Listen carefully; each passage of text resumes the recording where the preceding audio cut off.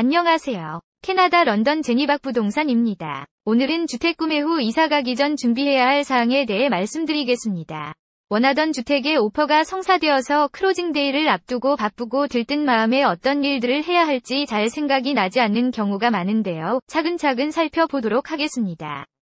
이사가기 8주 전에는 주택 구매하신 곳에 각종 유틸리티 회사에 연락을 해서 서비스를 받기 시작할 날짜를 알려주고 새로운 account를 setup하셔야 합니다. 유틸리티는 보통 전기, hydro, 난방, 가스, 온수통 rental, hot water heater rental, 인터넷 서비스 같은 것을 말합니다. 또 무엇을 가지고 이사를 갈 것인지 남겨둘 것인지 계획해보고 garage sale이나 Kijiji 등의 광고에서 판매할 준비를 합니다. 이사 가기 7주 전에는 가까운 우체국에 가셔서 이사 후에 우편물을 받게 되는 새 주소로 받을 수 있도록 주소 변경 조치를 해놓기 바랍니다. 보통 서비스 비용이 드는데 6개월 혹은 1년 단위로 서비스 금액이 정해져 있습니다.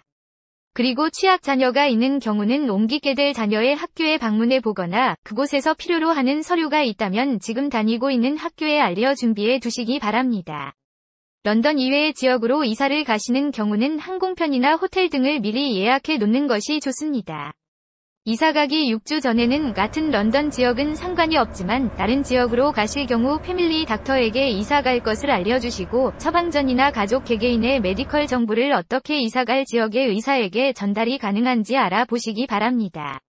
만약 애완견이나 고양이가 있을 경우에도 medical record, 백신 주사 기록을 준비하시고 해외로 가실 경우는 그 지역에서 요구되어지는 다른 사항은 없는지 점검해 보시기 바랍니다. 이사하기 5주 전에는 이삿짐 업체와 예약사항을 점검해 보시고 4주 전에는 만약 이사 들어갈 집이 고층 아파트면 이사 들어갈 날을 정해 엘리베이터 예약을 해 놓기 바랍니다.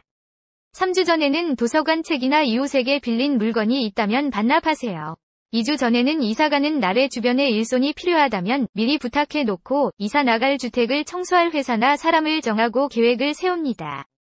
이사 가기 일주일 전에는 은행 관련 할 일이 있으면 정리를 해 놓습니다. 해외로 나갈 경우는 환전도 해 놓습니다. 이 기간에 변호사와도 미팅을 해서 closing 관련한 서류에 서명하게 됩니다. donation 하게 될 물건이 남아있으면 가까운 Goodwill이나 Value Village 같은 곳에 갖다 주세요. 살던 곳의 전화나 utility 서비스가 closing day를 기준으로 cancel이 되도록 되었는지 다시 한번 확인해 봅니다. 이사 당일에는 이사간 주택의 가스와 전기, 수도 미터를 잘 확인해 보고 노트에 잘 적어 놓기 바랍니다. 이상으로 주택 구매 후 이사 가기 전에 준비해야 할 사항들을 살펴보았습니다. 캐나다 런던 지역의 주택 매매를 생각하신다면 언제나 믿고 맡길 수 있는 제니박 부동산이 정성을 다해 도와드리겠습니다. 감사합니다.